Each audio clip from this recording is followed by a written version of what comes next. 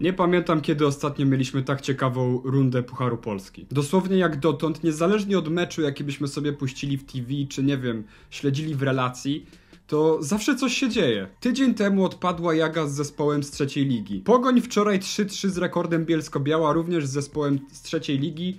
Dodatkowo mieliśmy dogrywkę i kilkanaście serii jedenastek. Raków wczoraj męczył się w Sosnowcu. Co jeszcze no? Lechia Gdańsk dzisiaj 5 bramek w Stężycy z Radunią. No i na dodatek ta 17.30 dzisiaj, o której w sumie mieliśmy niespodziankę, bo pierwszoligowa Resowia pokonała w roli gospodarza ekstraklasową Krakowie 4 do 3.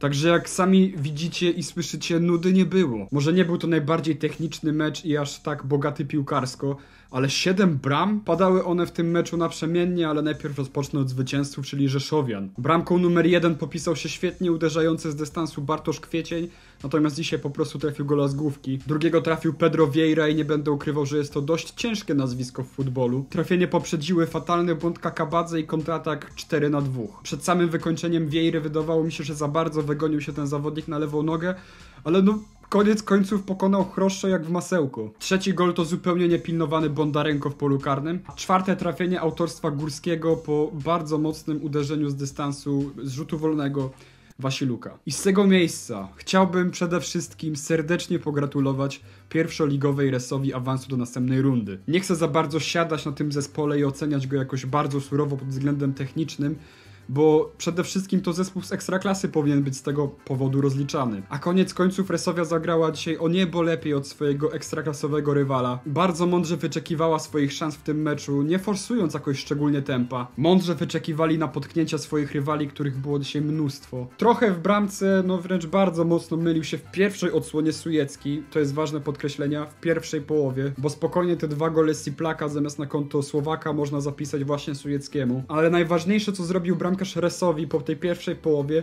to nie podłamanie się w drugiej, bo w niej zachował już czyste konto i prezentował się pewnie. I ogólnie może nie jestem jakiś mega biegły w pierwszej lidze, bo mam na nią po prostu zbyt mało czasu swojego życia, ale patrząc na statystyki i na te skróty, które mamy na łączy nas piłka, no to można stwierdzić, że w ostatnim czasie ten zespół, mówię tutaj o Resowi, jest naprawdę w niezłej dyspozycji. I nie mówię tu jedynie o samym zwycięstwie w Chojnicach, czy w derbach ze Stalą, czy o remisie z silnym ruchem Chorzów, czy tam zwycięstwem z jeszcze silniejszą chyba Puszczą Niepołomice, ale imponujące jest to, ile ta drużyna w ogóle strzela bramek i jak dużo bramek w ogóle pada w tych meczach. Także to zdecydowanie na duży plus. Resowia zachęca do oglądania jej meczów i dzisiaj pokazała to jeszcze mocniej. Więc myślę, że ten dzisiejszy awans i taka wysoka wygrana z Ekstraklasowiczem jeszcze bardziej nakręci ten zespół. Brawo. A Krakowia, no to powiem tak, zagrała dzisiaj tak nietechniczny mecz, że to aż głowa boli. Bo dosłownie wszystkie trafienia pasów z dzisiejszego meczu były efektem błędów rywali. I to takich ewidentnych, no. Te dwa gole Siplaka to tak jak mówiłem, błędy Sujeckiego.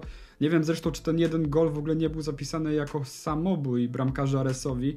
No a ten trzeci gol dla pasów z Krakowa to był rzut karny po ręce Górskiego. Ogólnie, tak jak mówiłem, akcje Krakowi konkretnie się nie kleiły. Chociaż uważam, o tym jeszcze wcześniej nie mówiłem, że przy stanie jeszcze 2 do 3 Loszaj był faulowany w polu karnym. No ale może się nie znał, no. Sędzia miał war i taką podjął decyzję. Najbardziej dla MKS-u może być w sumie bolesna ta końcówka, i ten przestrzał patelni Rakoczego, po świetnym zresztą dograniu z lewej strony Pawła Jaroszyńskiego. No i tak podsumowując, muszę powiedzieć, że jest w zespole Krakowi pewien kryzys w ostatnim czasie lub, lub po prostu pewna zniżka formy. Resowia 4, Krakowia 3.